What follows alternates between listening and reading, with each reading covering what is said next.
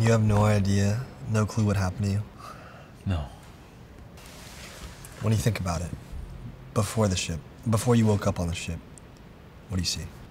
Nothing. It, it, it's just not there. Great. I'm sick of myself, and you don't know who you are. I kept trying things. I, I thought if I could find things that I'm good at, I could, You could put things together.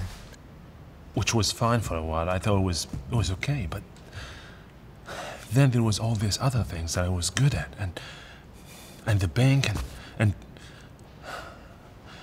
I think something bad happened. What are you talking about? That something bad happened, something really bad. I don't know, but I have a good Look. feeling. I know all about bad, okay? And, it, and if you're this worried about it, then maybe you're not so bad.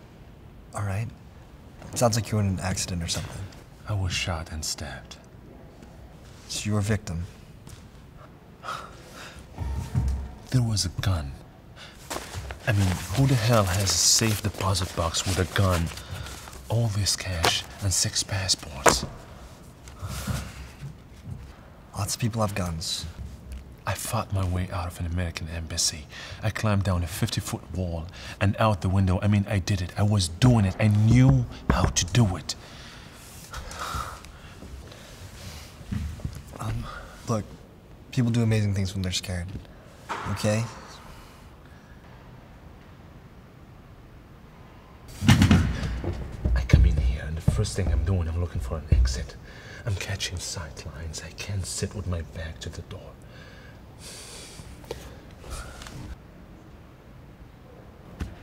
Look, you're paranoid, okay? You were shot and stabbed. All right? It's it's natural.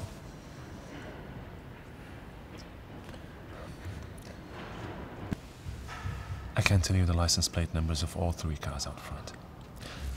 I can tell you that our waitress is left handed, and the guy at the counter weighs 215 pounds and knows how to handle himself.